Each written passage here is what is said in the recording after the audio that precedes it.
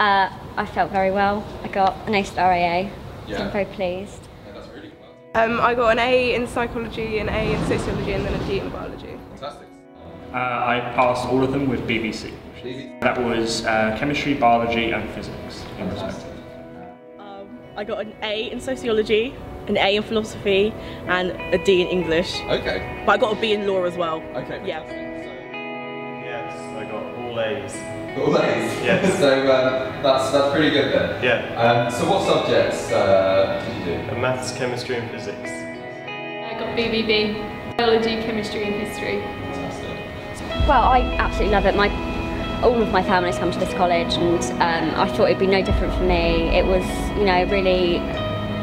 It's so laid back, and there's you can tell that the teachers really care about you, and they will have one-on-one time with you and make sure that, you know, I mean, they're experts like in their field, but they will do the best for you that they can. So. Well, that's really good. Not to sound coy, it's probably some of the best years of my life because it's uh, independence with the fun of learning, and nothing here is too difficult to try, and all, everyone seems to care about it. So I've really enjoyed my time at Farnborough College of Technology.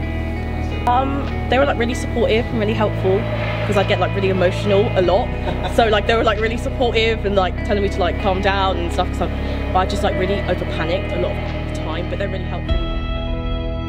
The teachers uh, know who each student is individually and help each student with uh, equal importance.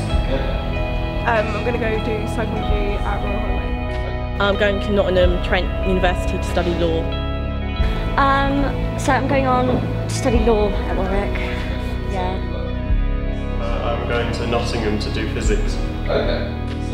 So Um, I'm hoping to go into theatre nursing.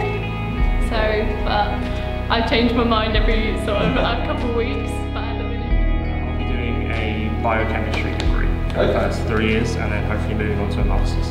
Yeah, I didn't mean it to, but apparently five of us are going to the same university.